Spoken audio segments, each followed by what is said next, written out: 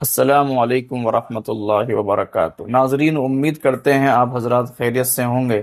اللہ تبارک و تعالیٰ آپ کو ہر حال میں صحیح سلامت رکھے۔ ناظرین، ہمارے مدرسے کے ایک طالب علم نے کچھ ایام پہلے ایک تقریر پیش کی تھی قرآن کریم سے متعلق۔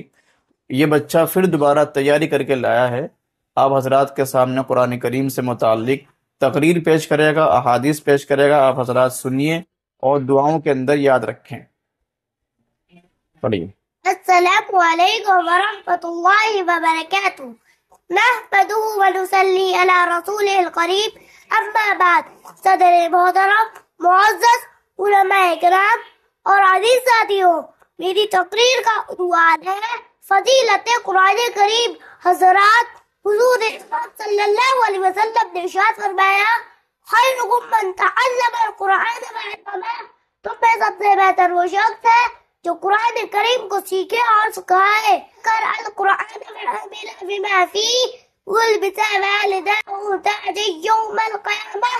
ذو ذو احسنكم من ذو الشم جس شخص نے قرآن کریم کو پڑھا اور اس کی تعلیمات پر عمل کرا تو کل قیامت کے دن اس کے والدین کو ایک ایسا تاج پہنایا جائے گا جس کی روشنی سورج کی روشنی سے بھی زیادہ ہوگی۔ اللہ تبارک و تعالی ہم سب کو قرآن کریم پڑھنے کی اور اس پہ عمل کرنے کی توفیق عطا فرمائے۔ آمین۔ وما علینا الا البلاغ۔ آپ حضرات دیکھیے، اس بچے نے، اس بچے کا نام محمد نوریز، تقریباً پانچ سال اس کی عمر ہے۔ اور اس بچے نے پانچ سال کی عمر میں اتنی شاندار انداز میں آپ کو تقریر پیش کی ہے تو احادیث پیش کی ہے قرآن کریم سے متعلق۔ اور یہ احادیث بڑی قیمتی احادیث ہے۔ خیرکم من تعلم القرآن وعلمہ اللہ کے رسول نے فرمایا، تم میں سب سے بہتر، سب سے بہتر کون ہے جو قرآن کریم کو سیکھے اور سکھائے؟